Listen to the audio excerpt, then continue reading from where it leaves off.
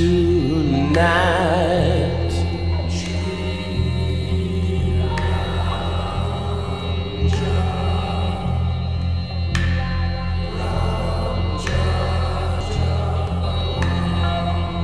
I hold myself tight.